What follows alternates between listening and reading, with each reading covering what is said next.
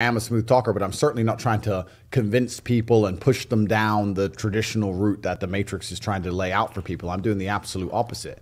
So you have to understand that if you see me as an agent of the Matrix, then you must see that all these other ideals they're pushing as anti-Matrix. I mean, I would, I genuinely, I think that'd be the next wave of like taking control because obviously that whole that era was there, you know, like all right, blah blah, like you said, brainwashing with everything. But wouldn't the next level be that's exactly what happened, which is why they tried to cancel me. Because if you have mass influence and you say things which talk against their agendas, they All don't right. like it. I, on an individual level, I can tell people how to escape the matrix, but on a societal level, it's far more complicated because the unfortunate reality is not everybody can escape. Every system of control is always going to be full of lies. You're never going to have absolute truth but you do need checks and balances to that system. In life, if there's no checks and balances, if there's no equal and opposite force, everything becomes tyrannical. There has to be an equal and opposite force at some point. I'm talking about freeing enough people who are ready to understand how the world really works so that there's an equal and opposite force to the tirade of bullshit